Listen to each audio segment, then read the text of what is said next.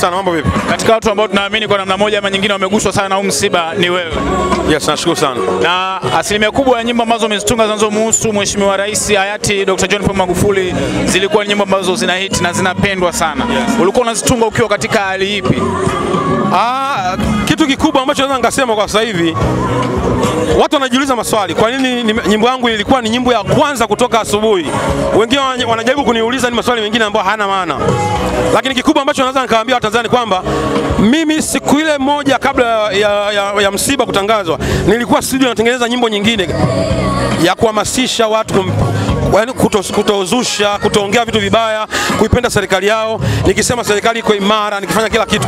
Na nyimbo niliachia saa kumi, around saa kumi niliachia na ilikuwa inaitwa Tanzania Imara, Magufuli Imara, lakini mida ya saa tano usiku ikatoka taarifa, ikaanza kusambaa taarifa kwamba mheshimiwa amefariki.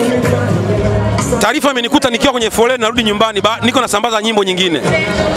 Kwa hiyo hapo hapo nikarudi, sikuenda nyumbani, nikageuza nikarudi studio, nikaanza nikarudia nika- nikarudia tena ile nyimbo, nikaimba kwa feeling zangu. Nakumbuka nilifanya take moja tu, tofauti na siku zote, kwa sababu na hiyo kutokana na mapenzi yangu binafsi. Kwa hiyo nilifanya take moja mpaka saa sita nyimbo imeisha, saa saba wakaifanyia mixing, mastering, kila kitu, imetoka kwa saa tisa usiku imetoka.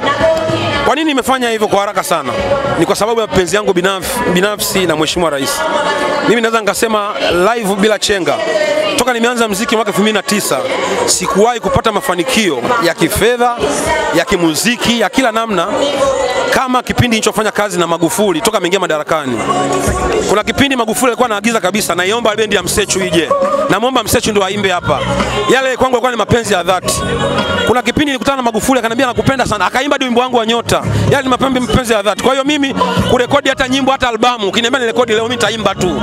Na nyimbo zangu zote ninavyoenda kuzirekodi naongozwa na, na feeling nilionayo, na ndio maana unaona labda ele zinafikia watu au zinafanya nini, ni kwa sababu ya mapenzi yangu binafsi. Nimefanya kazi nyingi sana, nime- sana na nimetumikia serikali sana. Kwa hiyo anastahili ni muage. Mimi nitaendelea kuimba hata kama akizikwa, nitaendelea kuimba tu kuhusu Magufuli mpaka atakapoona sasa inatosha. Kwa hiyo kikubwa ndio hicho, lakini nafikiri pale alipoishia viongozi tulionao wanastahili na wanaweza kuendeleza. Mama Samia tunamkubali sana na ni mtu ambaye anafahamu spidi ya Magufuli na najua kabisa kwa mwendo wake ulivyokuwa atatufikisha mahali salama. Sechu, labda ulibahatika kuongea na rais kabla hajafariki? Mimi kubahatika kuongea naye kwenye simu sikuwahi, lakini nisha kwenye event, kabla ya event nisha kuongea naye, baada ya event nisha kuongea naye. Kuna kipindi tulikwenda Ikulu nikaongea naye, Dodoma nilikutana naye tena mahali fulani nikazungumza naye.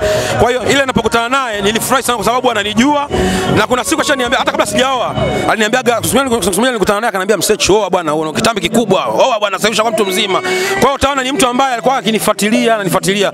Kwa binafsi bado sijaamini kama Magufuli ameondoka. Mimi naona bado Magufuli anaishi. Yes. Asante sana. Shukrani sana. Oh,